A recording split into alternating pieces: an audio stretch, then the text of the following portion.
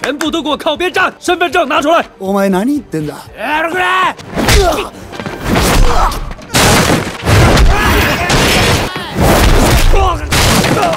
阿龙是警队里最能打的警察，今天和未婚妻可儿约好，两人去影楼拍婚纱照，然后下个月就可以顺利结婚。但有些事是老天注定的， 阿龙和可儿注定会错过。为了拍婚纱照，阿龙已经申请休假。同事们还在街道上蹲点时，阿龙已经换好衣服，按照老婆的要求到银行取钱。这是准备给可儿娘家人包的红包，绝对不能省。我在银行排队呢，就是还没取钱了。我催你是我不对了？不是不是，是我走太慢了。阿龙为了能顺利结婚，已经对可儿足够有耐心了。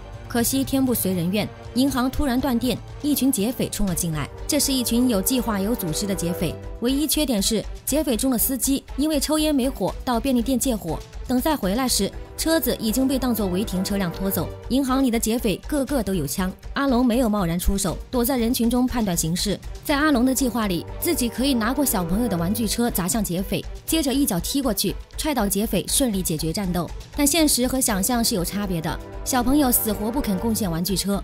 借给我好不好啊？啊，借给我好不好啊？劫匪已经注意到这里的声音，阿龙只能跳到桌子后面躲子弹。警报声已经响起，劫匪是来求财的，便没有和阿龙纠缠，扔出一枚手雷后，带着钞票出门开车就跑。原本那辆车子被城管拖走，劫匪们竟然抢了警察老黄的车。阿龙和老黄是好友，自然不会坐视不理，使出全力追上车子，飞身跳到车顶上。朱福龙是。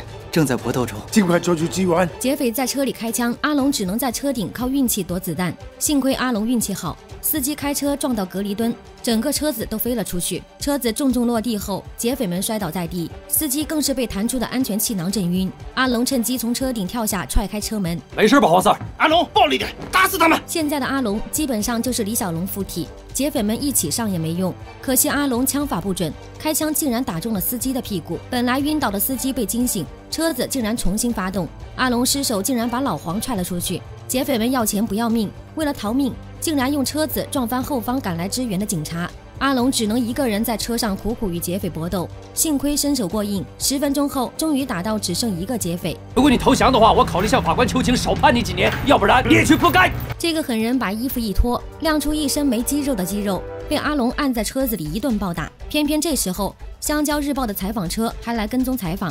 我们看到现场有位英俊潇洒的银行劫匪跟新郎官展开了一场肉搏战。为了增加收视率，香蕉记者竟然拿出一个锤子递给劫匪。此时旁边又来了一辆番茄新闻采访车，全程跟踪报道准新郎官与劫匪肉搏。两家记者为了争夺独家报道，互不相让，一度隔空对骂。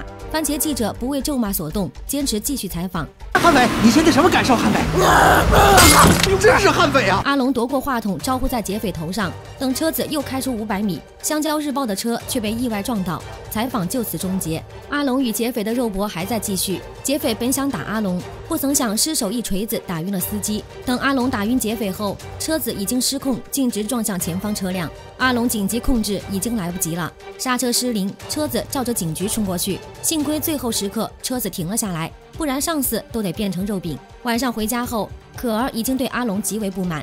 为了拍婚纱照，可儿从深圳赶回香港。阿龙却因为与劫匪搏斗错过了婚纱照，这让可儿觉得阿龙根本不爱自己。阿龙也没办法，老黄被劫持，自己总不能坐视不理。大家都是警察，要互相帮忙的。其他警察死光了，我跟了你十几年了，你跟我说这次让我当一次主角的，有这件事当导火索，可儿把这些年对阿龙的不满全都发泄出来。同样是干了十几年警察，别人已经是督察了，阿龙却还是普通警察。可儿认为阿龙这就是不求上进，这种无理取闹让阿龙倍感无奈，只能转移话题。你在电视台当演员，除了被人打还是被人打，何苦呢？可儿在剧组确实没地位，演技也不算好，基本上演什么戏都是一个表情。只是阿龙千不该万不该，在此时挑破可儿的自尊心。这个时候的女人总是不讲理的。你关心那些贼，比关心我还多。我问你啊，我们什么时候认识的？我爸妈什么时候认识的？吵到最后，可儿已经生气到想对阿龙动手。可惜一脚踩空摔了下来，大半夜被送上救护车。临走前，可儿拒绝了阿龙的陪同，两人就此分手。爱情不顺利，事业也不顺利。阿龙昨天差点开车撞到局长，局长是个小心眼的人，当时没说什么，结果第二天就把阿龙调职。对局长的决定，阿龙是一百万个不服气。托你三兄弟，你没理由忘了吧？当年我在南生委，一个打三个，我没功劳也有苦劳吧？辉煌一刻谁都有，别拿一刻当永久。老黄劝阿龙别太在意，可阿龙实在是咽不下这口气。宝乐巷那次更凶险，我在后巷单枪匹马，只给了我一根烂铁棍，对着那个全国武术冠军金毛子，我差点命都没。阿龙很不服，自己又破案又救人，没有功劳也有苦劳，不说褒奖，如今反而要被降职。吐槽归吐槽，局长的决定谁也没办法。阿龙只能收拾东西离开。临行前，阿龙告诉同事们，一定要坚守信念，保持形象，努力健身，做什么都好，最重要是人没事。同事们脸上毫无悲伤之色，人人都为阿龙的离开感到开心，因为阿龙和可儿结不成婚，大家连份子钱都不用凑了。阿龙被贬到政务房做事，从此生活失去了色彩。但阿龙从没有放弃当一个好警察。过了几天，阿龙收到消息，最近会有一帮南亚仔搞事。于是阿龙想让老黄帮忙调离政务房，但老黄却劝阿龙不要着急。每次英雄拯救地球呢，现在把地球毁掉一半才能救人，那和平有没有得到彰显呢？老黄告诉阿龙，之前阿龙抓贼事必躬亲，搞得兄弟们整天紧张兮兮。如今阿龙离开部门，兄弟们每天都能准时下班回家吃饭，不知道有多开心。做人嘛，最重要就是求个舒坦。对老黄这些落后思想，阿龙表示自己会坚决予以斗争。但阿龙属于是出师未捷身先死。骑到一半就撞进下水道，整个人都飞了出去，雪上加霜。降职是精神折磨，坐轮椅是肉体折磨。阿龙不会颓废，一时的失败并不可耻，因为在伟大的努力里面，就算有挫折也是光荣的。受伤后，阿龙一个人闷在家里，整天不是看电影就是吃东西。就算伤好后去警局工作，也是零食不离口。自动贩卖机里的零食几乎全都是阿龙买走的。这种高热量、高脂肪又毫无运动的不健康生活，很快就让阿龙体重暴增，体重称了一次又一次。六个月后，阿龙已经从玉面小飞龙变成了玉面小肥龙。大家只会催阿龙快点做事，从没有人真的关心阿龙。生日之际，也没人来祝贺一声。阿龙只能自己在汉堡上点根蜡烛，默默的祝自己生日快乐。Happy birthday to me, Happy birthday to 祝福龙。真乃冷冷清清，凄凄惨惨戚戚。还好阿龙是个善于自我安慰的家伙。做人嘛，最重要人没事就好。老黄看阿龙整天没事做，给阿龙派了一个任务，要阿龙保护一个叫山本勇二的日本人去日本。山本是个不正经的电影导演。在上次银行劫案中，脑部受损，淤血压住了大脑神经，现在有点失忆。日本警方查出山本与一个交通意外案有关，想让山本回日本接受调查，所以老黄就把遣返山本这个轻松任务交给阿龙。文件、机票在这儿，后天出发。事后写报告，把你调下来，是不是啊？老黄愿意帮忙，阿龙肯定是要抓住这次机会的。后天一早就带着山本坐上飞往日本的航班，不料在飞机上遇到了同样去日本的可儿。现在的阿龙实在是太胖，可儿差点认不出来。两人虽然已经分开，好歹曾经也是才子佳人。得知阿龙这次是去日本出差后，可儿只希望阿龙平平安安就好。那你记得小心点，别那么拼，最重要。人没事吗？一时有些不知道说什么好。阿龙只能恭喜可儿，电视剧拍得不错。两人的谈话被一个叫岛仓的日本人打断，此人是日本黑帮分子。当初山本在拍电影时，意外拍到岛仓卖白粉的证据，从此被岛仓一路追杀。如今再见山本，岛仓眼里全是杀意。不知道什么原因，岛仓没有在飞机上动手，一路上平安无事。阿龙顺利带着山本到达东京，负责接机的是日方刑警远藤，还有一个看起来不怎么聪明的翻译。四人在狭小的警车里，注定要出事。山本因为大脑受损，不但在车里放屁，甚至还拉了出来。大家只能把山本带到厕所处理。阿龙以为不会出什么事，就和翻译在外喝水放风。偏偏厕所里出现一个神秘人，拿刀闯进厕所，就要劫走山本。山本脑子有问题，可生死关头一点都不傻，裤子都来不及提上去，就跑出厕所。咦，裸奔呢？你给他，你给他，Mr. 龙。阿龙刚和翻译聊完人生理想。看到裸奔的山本，终于反应过来，撒腿就追。犯人竟然还能自己跑了，这算什么事儿？真是从香港倒霉到东京。最要命的是，山本比铁道游击队还猛，竟然扒到了货车上逃跑。远藤为了追山本，把阿龙和翻译丢下，一个人开车跑掉。阿龙一个人在东京，突然遇到这种事，也不知道怎么解决，只能给老黄打去电话。可接起电话的老黄，第一关心的却并非案子。有没有帮买东西？没问题，面膜、姐非要送我的。不过有件事啊，也就是嫌疑犯逃了。老黄人都麻了，山本这个脑子有问题的人竟然还能跑了。本来指望阿龙顺顺利利出完这趟差回来调职，现在好了，阿龙别想调职了，老黄自己也得受连累。追击山本的远藤终于回来了，可惜远藤带来的是个坏消息，山本彻底消失，谁也找不到。日本警方也没有线索。老黄告诉阿龙，再抓不到山本就别回香港了。为了让阿龙能顺利抓到山本，老黄让阿龙去找一个叫潇洒的人，此人是老黄在警校的学长，以前也是警察，大概能给阿龙帮上忙。其实山本没丢，远藤早就找到了山本。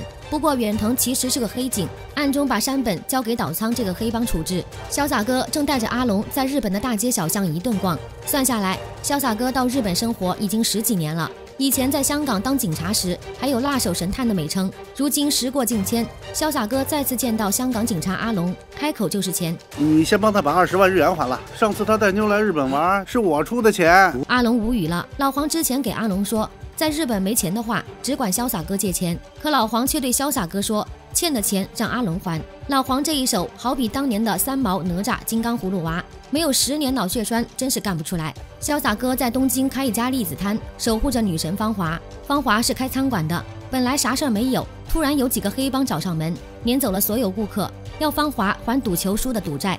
芳华没钱还，黑帮就砸店，甚至连潇洒哥也挨了一顿打。芳华是个性情中人，欺负自己可以，欺负潇洒哥就不行。潇洒哥这顿打，让芳华当场暴走。得到你打他吗？我打可以，你打不一群人从店里打到马路上，眼见潇洒哥几人被欺负。阿龙实在看不下去，从楼上飞下来，一脚踹飞黑帮，然后张口就要查身份证，全部都给我靠边站！身份证拿出来！气氛略微有点尴尬。日本大概不流行查身份证。阿龙三拳两脚打翻了这几个小日本，可街道那头又跑来一群人。阿龙扭着用六个月时间吃胖的身体在街头逃窜。该说不说，阿龙的身手还挺灵活，只是日本的警察办事效率太低，每次都是打完架才出现。我刚才明明就看到日本警察跟黑社会一个鼻孔出气，这个世界怎么了？他们早就是一伙的了。潇洒哥和芳华是开门做生意的，除了忍耐没别的办法。店里打架时被砸得一塌糊涂，芳华大发雷霆，要撵阿龙走。小虎是个懂事的孩子，假装跑出去又跑回来，拿出一笔钱交给芳华。阿姨阿姨，这是潇洒哥给你的。其实潇洒哥留在日本也是有苦衷的。小虎是芳华的外甥，几年前小虎爸妈出车祸去世，芳华就留在日本照顾小虎。怎么说都不肯跟潇洒哥回香港，潇洒哥也就只好在这里陪着芳华，等小虎长大。这一等就是十年。干嘛老是叼着根烟又不点？他说我叼着烟的样子很帅，那我就叼着不点喽。言归正传，翻译那边终于告诉阿龙一个好消息：日本警方已经在东京湾找到了山本，不过现在的山本已经是一具尸体了。远藤告诉阿龙，山本因为吸食白粉过量，掉到水里溺亡。由于此人从日本跑到香港，又从香港跑到日本，大概可以算作是畏罪自杀。可阿龙又不是傻瓜，自己押送山本一路，多少对山本有所了解。山本大脑受损，连一二三四都分不清，怎么可能是自杀？说山本是溺亡，可山本整个人浑身只有淤青，连在水里泡胀的特征都没有。阿龙分析这件事背后绝对另有隐情，于是带着潇洒哥一起游走在东京的大街小巷，想要查出一些线索。最大的线索还是山本家里。皇天不负有心人，阿龙终于在米包找到一部手机，可手机有点问题，暂时打不开。潇洒哥便拜托小虎解决这件事。这部手机曾经进过水，小虎没能解决全部问题，能打开的档案全都已经解锁，只有一个视频文件暂时还打不开，需要耐心等几天。不过对阿龙来说，有这些暂时就够了。潇洒正好认出手机里其中一个地方就是于氏，带着阿龙就赶了过去。于是有盛大开幕式，可儿作为嘉宾出现在现场。哇，真是漂亮，真漂亮！我是来办正事的，专业点。潇洒哥不务正业，阿龙干活的时候，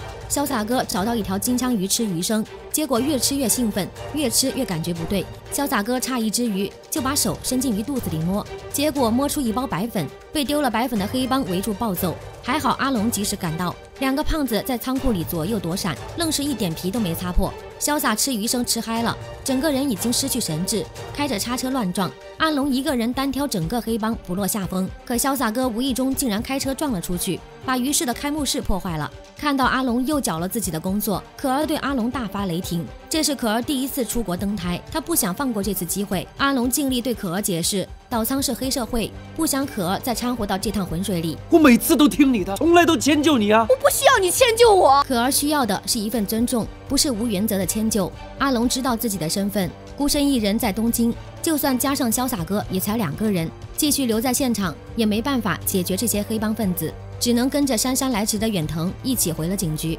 阿龙本来对自己相当有信心，这次碰见可儿，让阿龙对自己的人生产生怀疑，怀疑自己是不是真的总是给大家带来麻烦。不止阿龙怀疑自己，潇洒哥也快开始怀疑自己了，因为今天潇洒哥和阿龙大闹于市。芳华不想继续和潇洒哥在一起了，我要卖了风华居，然后带小虎回香港。你说分手啊？你丢给我分手两个字合适吗？两个人也不是真的要分手，就是话赶话说到这儿了。其实真的是互相喜欢。芳华每天都帮潇洒哥照顾栗子摊，潇洒哥每天都找一堆人陪芳华打麻将，就连阿龙也看出两人的感情，不希望两人因为吵架闹到分手。我只是想说，真的，这个世界上没什么人可以等另外一个人十年的。这番话不知道潇洒哥和芳华明白没有？反正阿龙已经是明白了。既然喜欢可儿，就不应该轻言放弃。于是连夜找到可儿，两人一起去吃了那碗好久没吃过的面，喝了那杯好久没有一起喝过的酒。酒过三巡，可儿主动承认阿龙以前批评的对，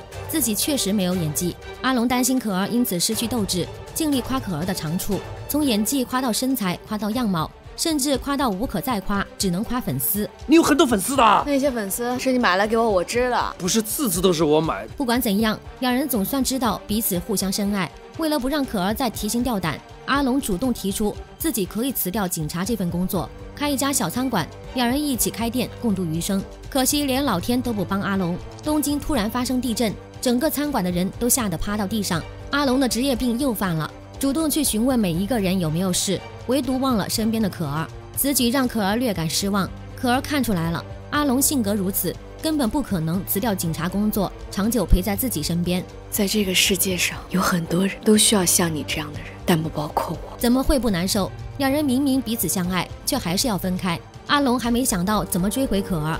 新的危机已经来临，黑帮不知从什么渠道得知，潇洒哥的手里还有视频，已经开始了对潇洒哥和阿龙两人的追杀。岛仓更狠，为了拿到爷爷手里的营业权，拿刀逼着爷爷在转让合同上签字。等爷爷签完字，岛仓竟然一刀干掉了自己的亲爷爷。不巧的是，可儿正好来找岛仓，丧心病狂的岛仓便抓到可儿想杀人灭口。话分两头，小虎已经修复好那条视频，视频内容不是别的，恰好就是山本拍到的岛仓卖白粉的犯罪证据。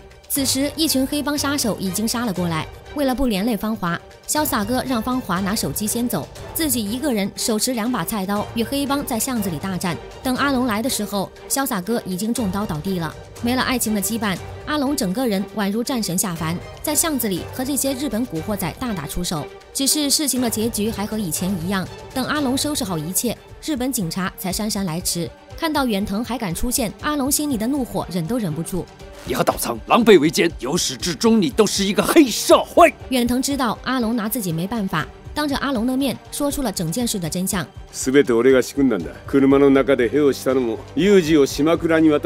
善恶到头终有报，人在做天在看。远藤没能得意太久，刚走出小巷就被车撞死。整个人连渣都没剩，黑警被老天收了。但黑帮分子岛仓已经抓到可儿，以可儿的命为条件，要阿龙交出那部带有视频的手机。他会在东京塔等阿龙。阿龙来不及和潇洒哥说，一个人跑去了东京塔。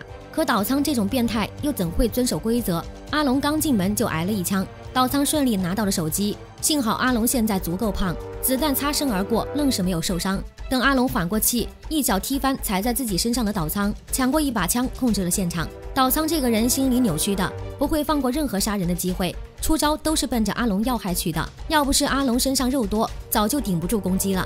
阿龙被岛仓纠缠的烦不胜烦，终于一脚侧踹，把岛仓踢飞，摔倒在座椅上。所有事情基本搞定，老黄竟然来了。阿龙，我特意来日本挺你的，不要担心，兄弟共同进退，一起扛。这傻子现在才来。阿龙太长时间没有联系总部，老黄担心阿龙出事，紧急出动直升机过来支援。此时岛仓已经从昏迷中苏醒，手持双叉与阿龙血战，一副不干掉阿龙誓不罢休的架势。阿龙仓促应战，手中短剑被打掉，只能尽力往外跑。